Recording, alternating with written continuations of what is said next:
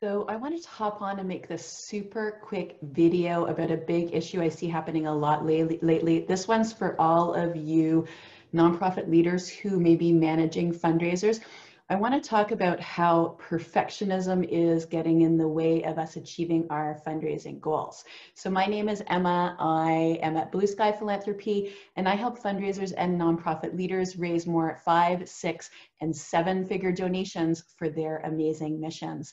So this is something I see that is especially prevalent in major gift fundraising. It's this culture of perfectionism and these expectations of perfection are actually stopping your team from taking action.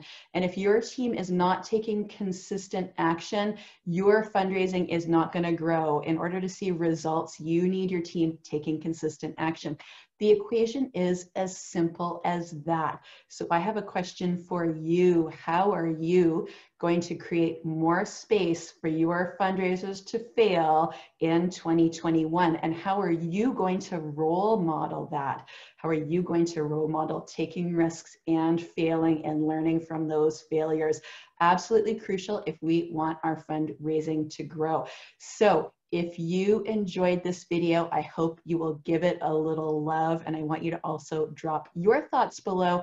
How can we do a better job in our organizations of creating space for failing and learning because it is so crucial for growth.